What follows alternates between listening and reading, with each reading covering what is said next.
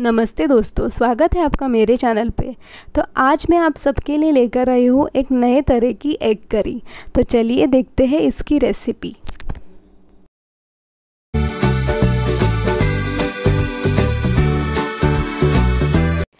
सबसे पहले हमें एक ग्रीन मसाला ग्राइंड करके लेना है, जिसके लिए मैंने धनिया, पुदीना, अदरक, लहसुन, प्याज, काजू, हरी मिर्च और कुछ करी पत्ते लिए हैं। इन सबको एक एक करके हम इस मिक्सर ग्राइंडर में ऐड करेंगे और इसका एक फ़ाइन पेस्ट बना लेंगे।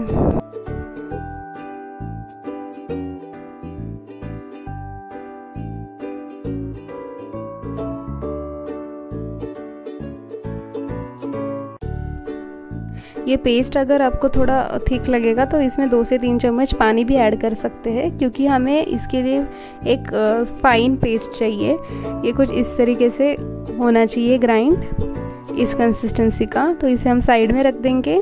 मैंने सात से आठ बॉइल्ड एग लिए हैं। इसको ना मैंने पहले बॉईल किया है पानी, उसमें एक चम्मच नमक ऐड किया है और इस अंडों को 10 से 12 मिनट तक अच्छे से बॉईल करके लिया है। क्योंकि हमें इस रेसिपी पे हार्ड बॉइल्ड एग चाहिए। तो इस अंडों को मैं दो हाफ़ में डिवाइड करूँगी कट करके साइड में रख दूँगी। अभी एक कढ़ाई में मैंने वन टेबल स्पून ऑयल गरम किया है। इसमें मैंने एक बड़ा तेज पत्ता ऐड किया है। उसी के साथ आधा चम्मच हींग ऐड किया है। इसके बाद मैं ये सारा मसाला इसमें ऐड कर दूँगी। और इस मसाले को हमें दो से तीन मिनट तक अच्छे से फ्राई करके लेना है।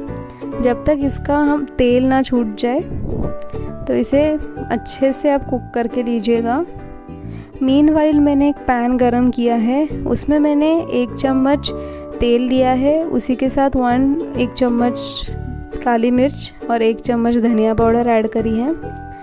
इसमें हम ये जो हमने अंडे कट करके रखे थे, इसको हम प्लेस करेंगे इस तरीके से। और इसे हमें थोड़ा सा लाइट ब्राउन कलर होने तक अच्छे से फ्राई करके लेना है। तो हमारे अंडे कुछ इस तरीके से दिखने चाहिए। अब इसे हम साइड में रख देंगे। अब आते हैं हमारे ग्रेवी के ओर। आप देख सकते हैं थोड़ा तेल छूट रहा है ग्रेवी को। इसमें हमें एक चम्मच धनिया और एक चम्मच काली मिर्च पाउडर ऐड करनी है। उसी के बाद हम इसमें एक कप दूध ऐड करेंगे। इसके बाद हम इसकी कंसिस्टेंसी एडजस्ट करने के लिए पानी ऐड करेंगे। आपको आपके हिसाब से इसमें पानी ऐड कर लेना है। दूध के साथ थोड़ी सी मलाई भी थी तो ये जब बॉईल होगी, तब इसमें आपको थोड़ा ऑयल दिखेगा। अगर आप मलाई नहीं ऐड करना चाहते तो आप इसे स्किप कर सकते हैं। अब इस करी को हमें अच्छे से बॉईल करके लेना है, और उसके बाद हम इसमें हमारे जो अंडे हमने तवे पे फ्राई करे थे, वो सारे इसमें ऐड कर देंगे। तो हमारी ग्रेवी बॉईल हो चुकी है, अभी मैं अंडे इसमें ऐड करूँगी। तो ये हमारी quick and easy recipe ready हो चुकी है।